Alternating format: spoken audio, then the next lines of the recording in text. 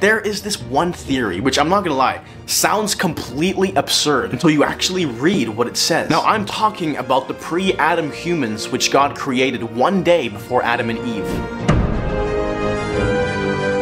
Okay, so in Genesis 1:26, we hear that God says, "Let us make mankind in our own image, in our likeness. Male and female he created them." Then God blessed them and said to them, "Be fruitful and increase in number, fill the earth and subdue it." And it was so. And it was so. See, in days 1 through 5, when God creates the world, when God commanded something into existence, that thing would just burst forth and it was so. Now on day 6, it tells us that God created man and women in his own image. Male and female, he created them. And he gave them the whole world to subdue. But the very next day, in the very next chapter, on day 7, God places a man in the Garden of Eden, and his wife would be taken from his rib.